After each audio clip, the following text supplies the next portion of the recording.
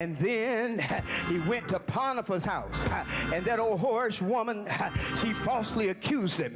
Can I get a witness? They threw him into prison. Can I get a witness? But he kept on dreaming. He kept on interpreting dreams. Your gift, I say, your gift will make room for you. Can't nobody steal your blessing because whatever God has anointed you to do, he will use it to bring you before kings and before great men. God used Joseph's gift. His gift was to dream and to interpret dreams. He interpret Pharaoh's dream. He says seven years of famine, uh, seven years of prosperity, and then seven years of famine.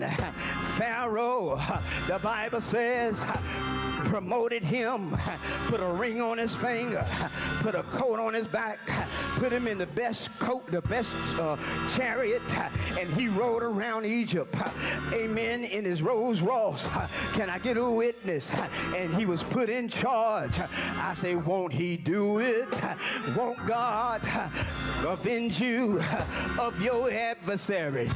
Somebody say, yeah. But in his own famous words, Joseph said this.